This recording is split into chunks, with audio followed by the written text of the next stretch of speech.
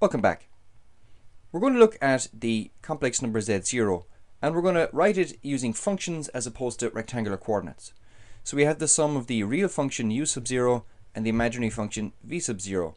And each of these are functions themselves of x and y, which are the elements or components of the real and imaginary axes.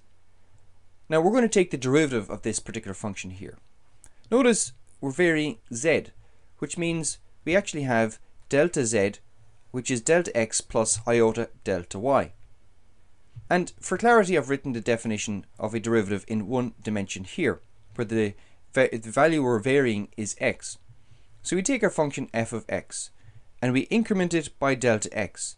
We take the old function or the original function away from the incremented function, and divide by the increment. Now, our function f of z sub 0 or f of z0 actually is a function of x and y. So we're actually going to increment in both x and y and divide by the increment of delta x, which is simply, or excuse me, delta z, which is delta x plus iota delta y. And that's what we have at the bottom center of your screen. We have our original real function u0 and our original imaginary function v0. We've incremented them. So we've incremented x and y here, here, and here. So what we actually have is this. We have the incremented function u, the real function u. We take away from it the original real function u, and we divide by our increment. We have the original function v and the incremented function v. We take the original from the, incremented function and divide by the increment.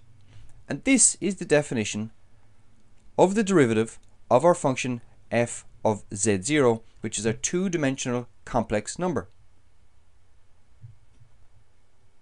Now remember that we can approach our complex number from many different directions, but the most simple ones are where we fix the imaginary component and approach z0 along the real direction. So that would be doing this, or if we fix the real numbers and we approach or vary along the imaginary direction, we will be approaching like this.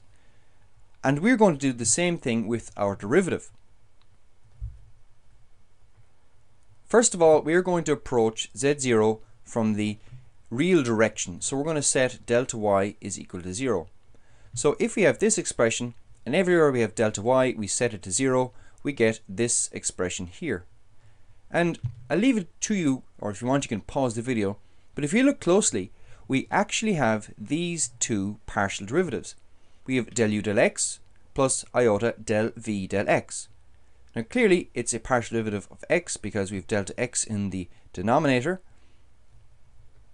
And of course we have our function u and function v. So that's why we have del u del x plus iota del v del x.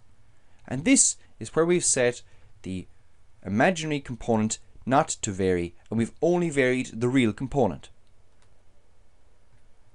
And now what we do is we approach z0 from the imaginary direction. So we set the real variable or delta x to 0. And if we set delta x to 0 from our derivative, we get this expression here.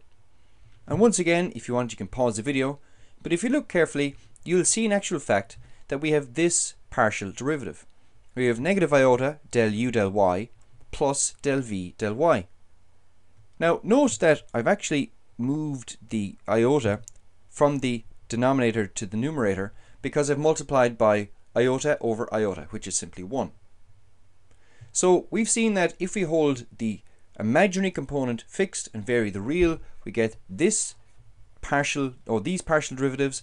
And if we set the real component to be fixed and vary the imaginary, we get these set of partial derivatives. Now, in order for the differentiation of a complex number to make any sense, we know that the direction in which we approach the complex number shouldn't make any difference. And this basically means that these expressions here must be equal. Said differently, for a unique derivative, we require that the real components and separately the imaginary components of both derivatives are equal. So basically, we're going to set del u del x equal to negative iota del u del y, and we're going to set iota del v del x equal to del v del y. And we have our Cauchy-Riemann conditions. We have that del u del x is equal to del v del y. We have del v del x is negative del u del y. And these are the conditions for a path-independent complex derivative. Note, of course, that our z0 can be any point on the complex plane of our Argand diagram. And that's really it. The last thing I'll say is, where the derivative at z sub 0 exists, we speak of the function f of z being analytic at that point, or holomorphic is actually a more modern term, but it's the same as analytic. It means we don't have a divide by zero scenario. Anyway, the point here is that for a path-independent derivative of a complex number, we must have the Cauchy-Riemann conditions to be true. So I hope you enjoyed that. Hope you got a lot out of it. Thanks for watching. Please pass it to your friends and consider supporting me on Patreon.